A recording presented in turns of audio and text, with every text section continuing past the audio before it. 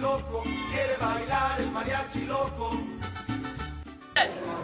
There's a reason that we are here tonight, and it is to celebrate the fact, well, not celebrate, to, I don't know, well, celebrate your time as a warden. Matt, I don't know if you're all aware, I think you probably are, Matt is leaving well, at the end of this year. He has been warden for 13 years, he's done an awesome job, and it's very sad that he's going. But we have got a new warden, so, you know, don't worry, we're not being left.